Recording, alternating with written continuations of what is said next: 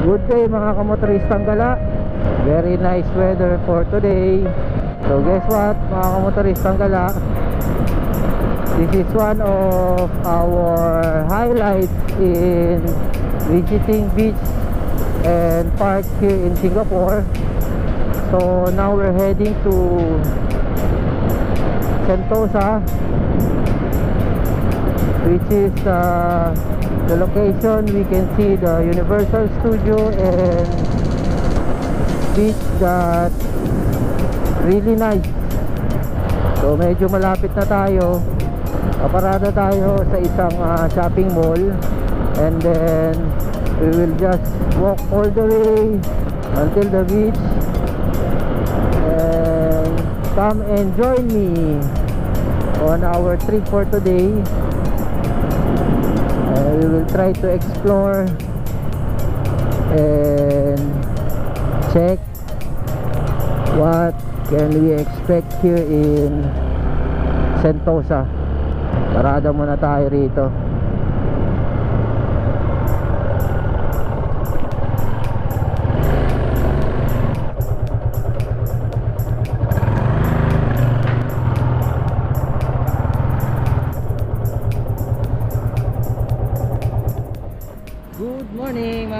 mga kamotoristang gala Now we're already here So ah, Samahan nyo ko Ah, We still have I think uh, 300 So I think around 500 to 900 kilometers to go Hindi na sana kita dalhin sa police. Now I'm bringing you to the police. So weird. Para makarating tayo sa pupuntahan natin So now we're Nasaan na tayo? So we will try to explore here.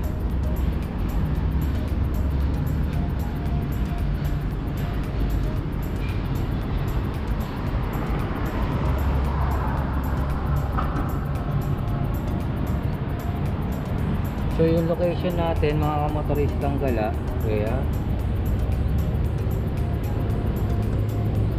uh, Yun nandito tayo ngayon So maglalakad tayo dito sa boardwalk.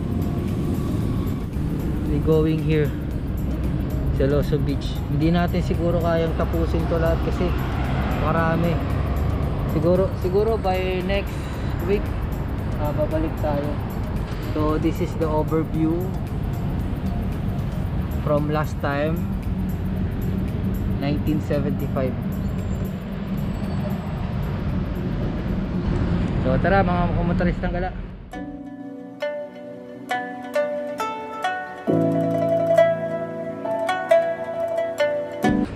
So yun mga kamotoristang gala Yun ang idea lang no? Yun ang Universal Studio Yung makikita nyo doon. Yan, yan ang Universal Studio. So madadaanan natin siya mamaya. So now we're here at they call it they call it boardwalk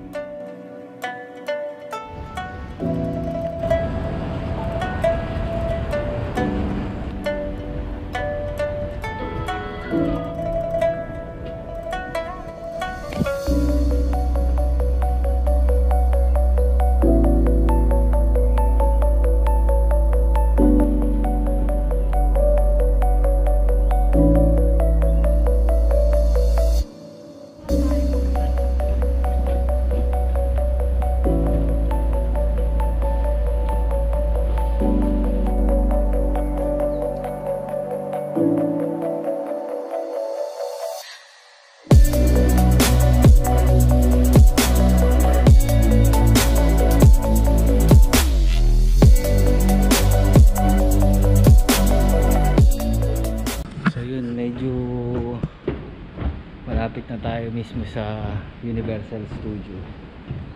So idadaan ko kayo sa harap. Siguro next time ay try natin pumasok sa loob.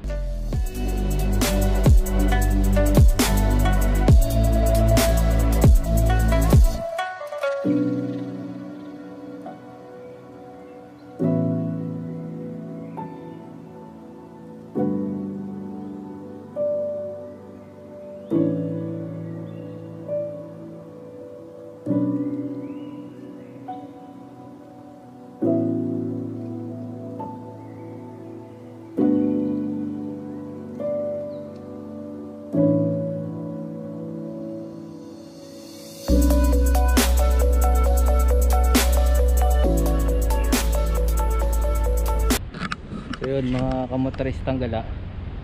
Medyo malayo-layo na yung nalakad natin so malapit na tayo. Malapit na malapit na tayo sa Universal Studio. So just now we came from that side. Uh, okay then we just walk all the way through this uh, boardwalk. Until here. So tara samahan nyo ako. Dadaling ko kayo sa harap ng Universal Studio Welcome to Universal Studio mga kamotoristang gala.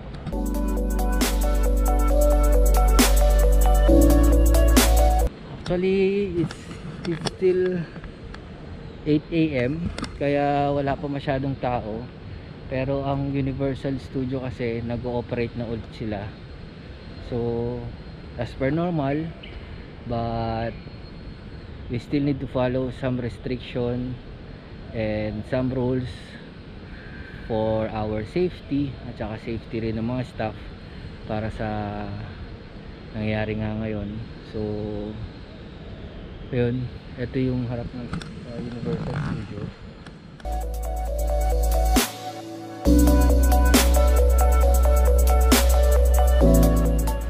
Dyan yung uh, ticketing booth. Oo,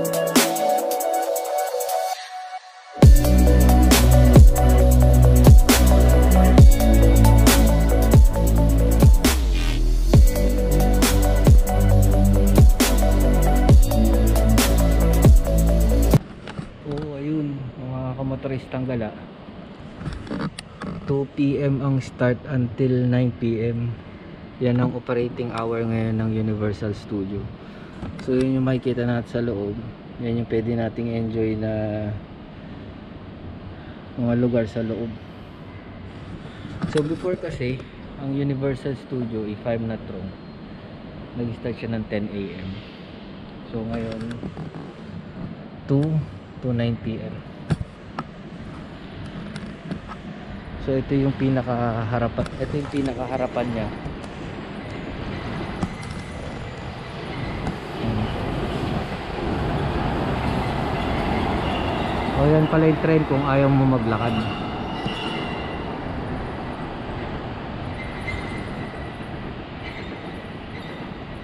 So as we can see na ayun nga ito nga yung mga kailangan nating i-follow na guideline na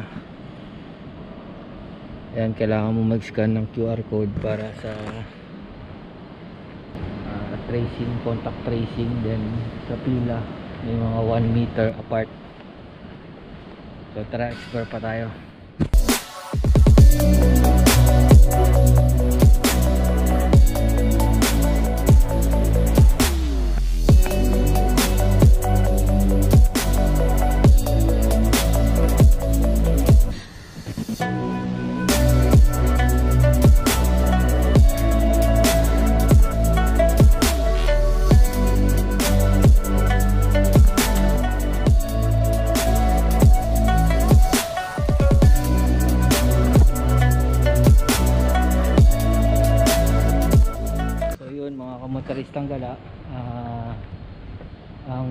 Universal Studio is back in business and ang Sentosa but we still need to follow and observe the safe distancing for everyone.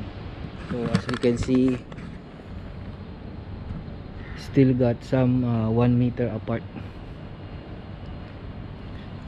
So tara explore pa tayo mga kamotoristang gala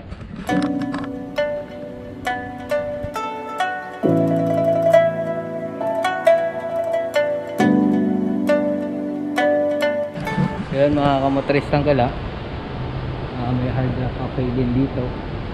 And of course Hard Rock Hotel Singapore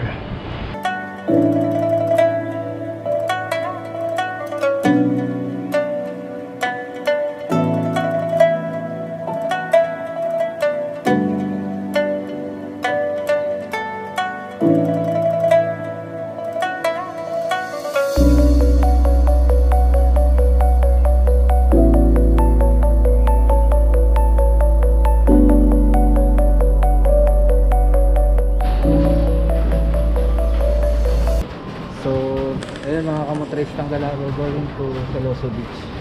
Tara!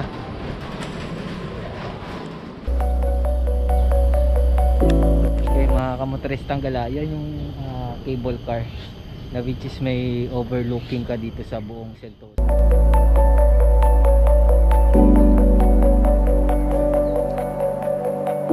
Pag-alagala lang mga kamotoristang gala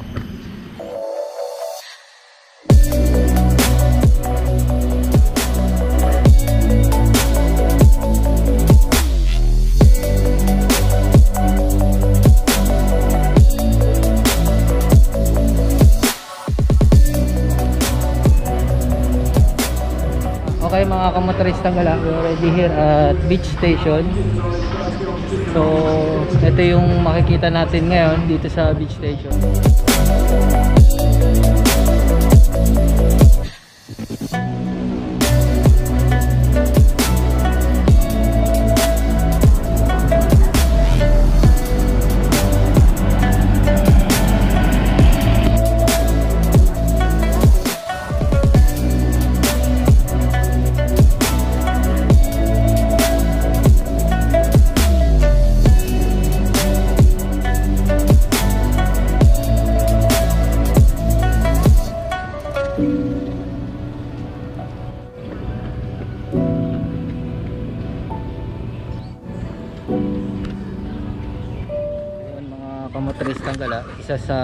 Attraction dito sa may beach station ay yung uh, Winds of Time.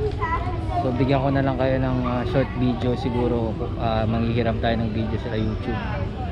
So ipakikita ko sa inyo yung video. So yan, so ang admission niya sa premium is $23. Then sa children is $18.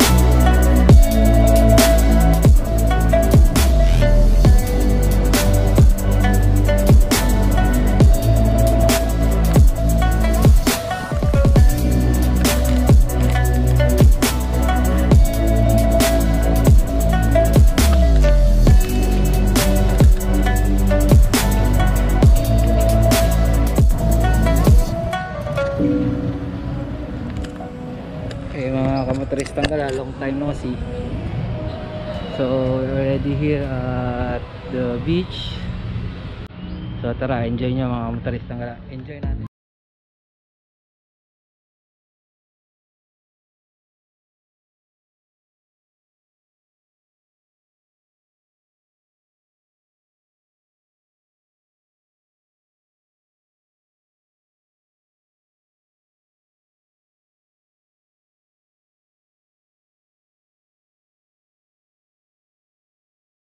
Sa beach mga kamotoristang gala.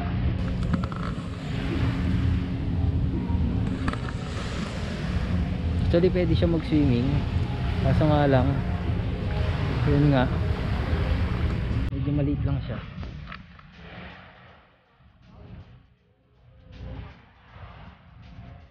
Di pa tayo doon.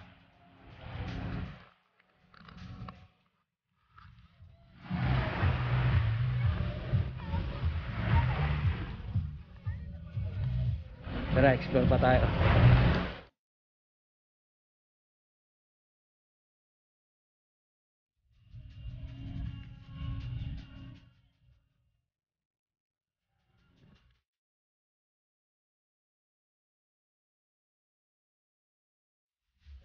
Tristang gala.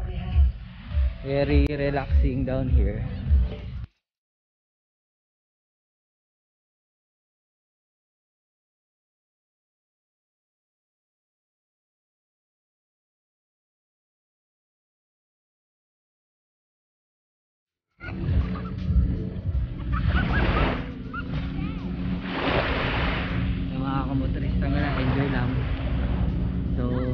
Tayo doon saglit. Ah, enjoy nyo lang yung view.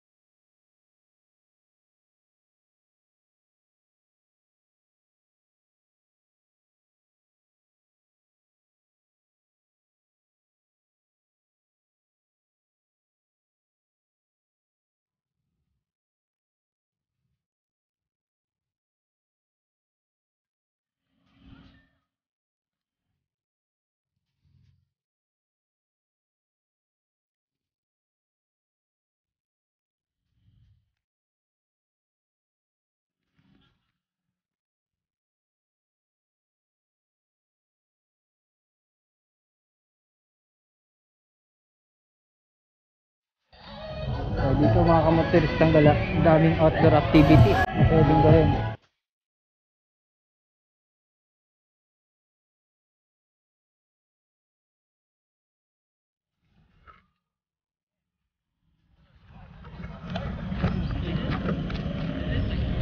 Okay, we're still here at Saloso Saloso Beach.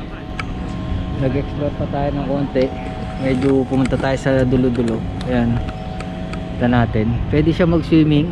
Actually Mga kamotoristang gala Pwede siyang mag-swimming doon Yung una natin napuntahang beach Yung pinasukan nating beach. Actually private siya pero Allow naman sa kanila.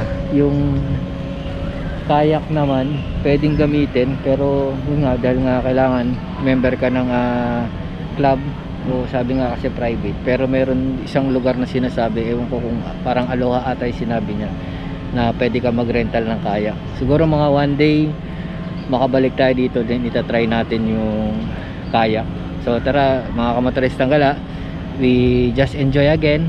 So lakad-lakad muna tayo.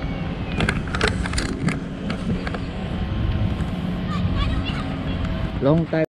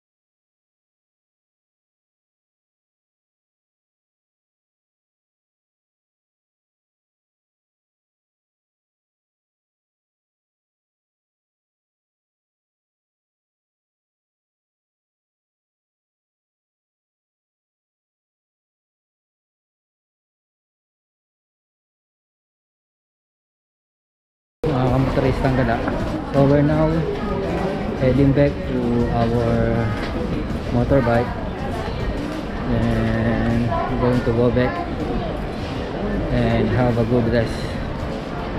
So stay tuned for more upcoming video mga kamotoristang gala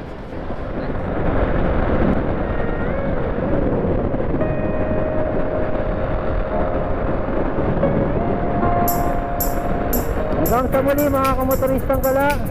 Thank you for watching.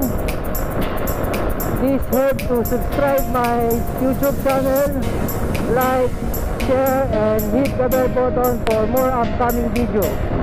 Ride safe, stay safe, and more rides. Bye-bye!